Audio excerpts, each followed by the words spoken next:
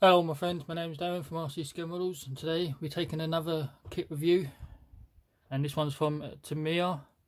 This is their T34 76. This kit's been around for a while now. Um, this is going to be my entry into the uh, T34 group build. This is the only T34 I have in my stash so let's take a look anyway.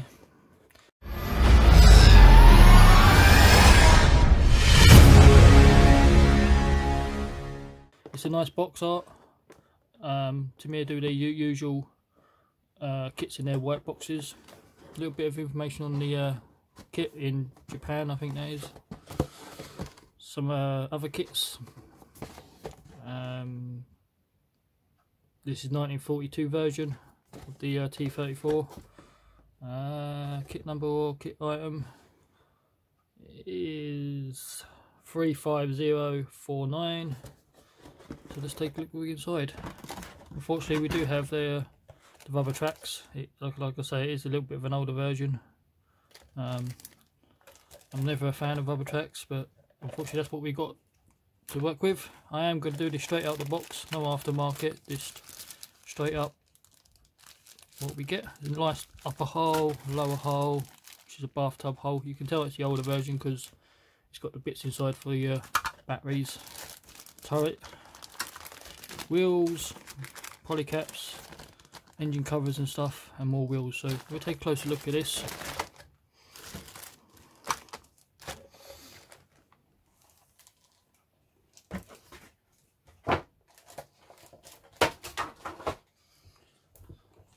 So we start with the rubber tracks. It is nice, good detail for rubber, but as I say, I'm, I'm never a fan. I do like the plastic, or if I can, fork out for the metal ones, but this is just going to be straight out of the box. So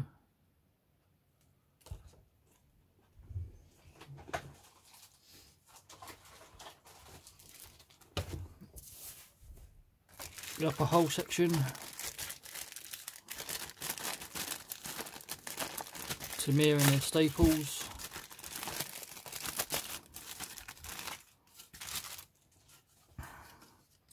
So here's the upper hull, nicely done. There's the front of the vehicle.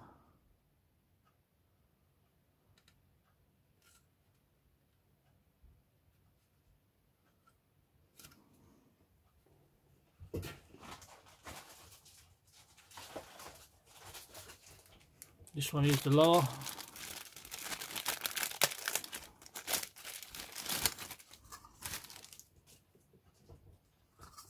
like I mentioned before, there's the inside for the uh, battery compartment because it is like the older version. It should have the date on there. 1970, uh, sorry, 1987. So yeah, it is, it is an old mould, but to me, I don't know how they do it, but they seem to make their kits last test of time. Excuse me. Um, so yeah, so pretty good.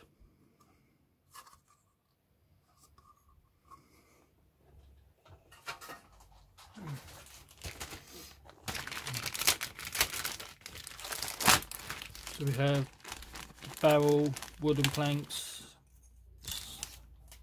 So here we have some of the wheels. Nice detail. Some stowage.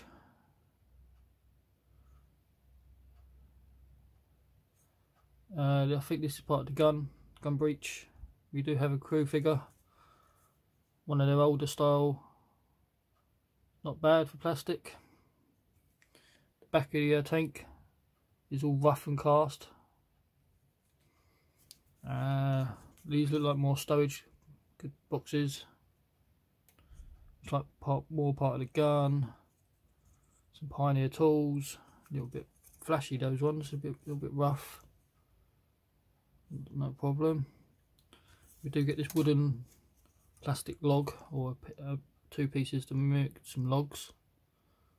They're not bad for plastic, but I'll probably end up taking some twigs or something or wooden sticks or whatever from the garden. We shall see. We have these fine detail parts at the top. And that is sprue E.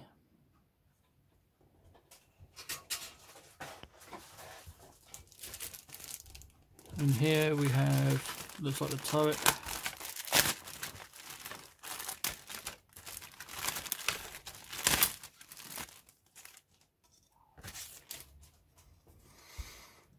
So yeah, this is sprue D. This is part of the turret. It has a cast texture on it as well. Grab handles. It is two piece turret.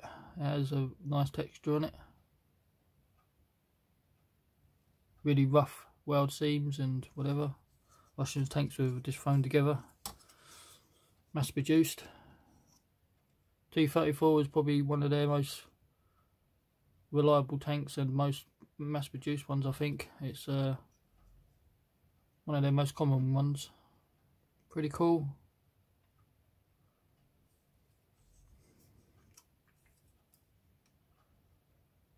Another crew figure. He's got a pole in his hand. Or is that surrendering? I don't think he was surrender. I don't think Russians surrendered. But yeah, pretty cool. I say it should go together pretty pretty easy, pretty well. No issues, it's typical Tamiya.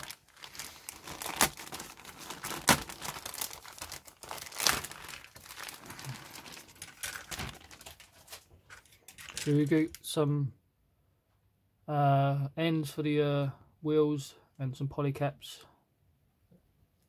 these are lots of flexible rubber or flexible plastic.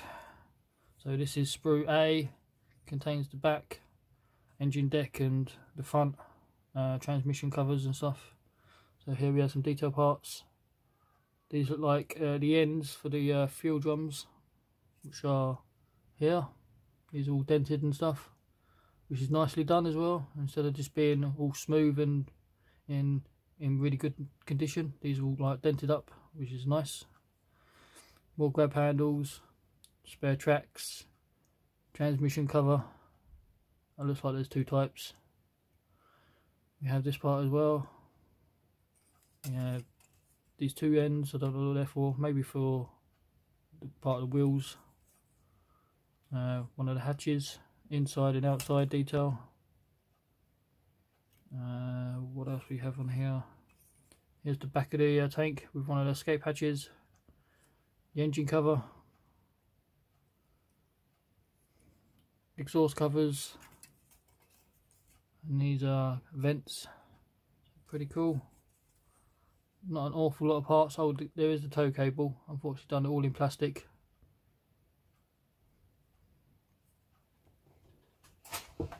There is no string or anything or rope with this one. I noticed in the bottom of the bag you do get this uh, metal bar and some screws. I imagine when we look in the structures I think the rod the rod is for the uh, drive sprocket and the screws is so you can screw the two halves together.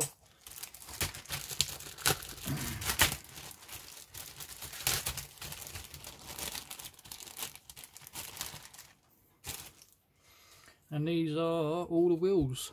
This is sprue C. So I think these are inserts and these are the uh, outer wheels. So nicely done. It's got the nice thick chunky rubber on the outside. There's another one of the uh, wheels. I think these are the outer ones. And these are the inserts behind at the back. Smaller wheels. The main road wheels. Again nicely done. We have got a bit of a seam line on the rubber, but it's easy to take care of. Take a couple of chips out the rubber so it's a little bit worn up. But yeah, nicely done these wheels. I'd say that's sprue C. And that is pretty much it for the kit. As for the paperwork, you get two instructions, one in English and one in Japan, I think the other one is. We won't need the Japan one because I can't read it. Uh, you do get your decals as well. have a quick look at these.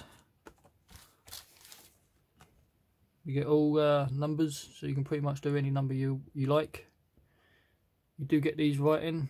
I don't know what they mean, or I don't understand some of them because it's Russian. Anyone that knows what it means in English, feel free to comment. So, nicely done. As for instructions, I think it's a pull-out page. It's an older one. Yeah, it is a pull-out page, so it's going to be a bit all over the place. So here's the front of the uh, worksheet. Nice information. If you wish to read it, pause the video.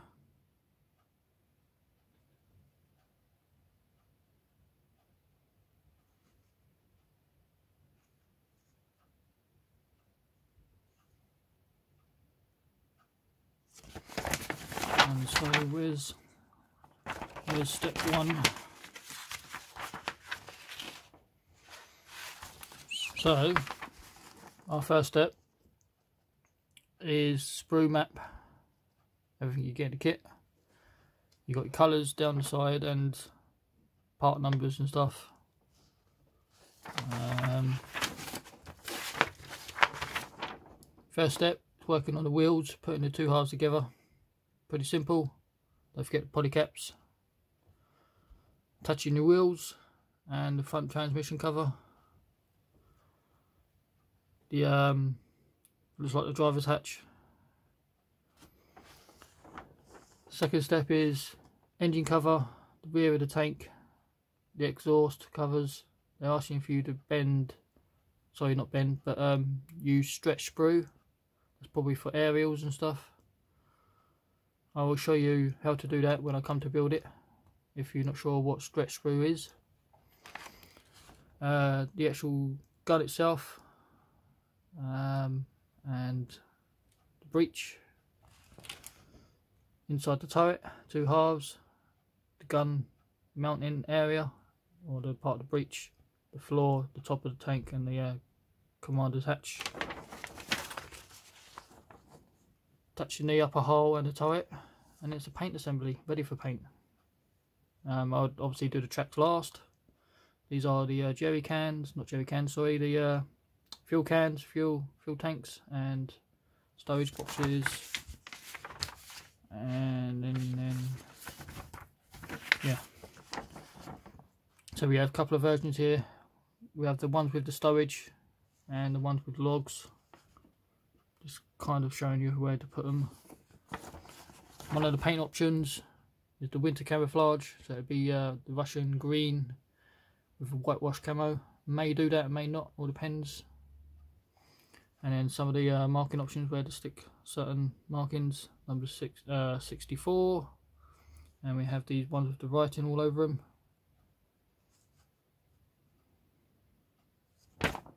and that's pretty much it by looks of things.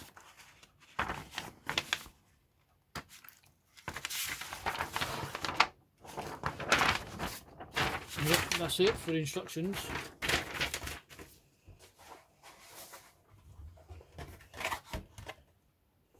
There you are my friends. There's another kit from Tamiya the T34 76 as I say it's my entry into the uh, group build. Like comment subscribe and I'll catch you later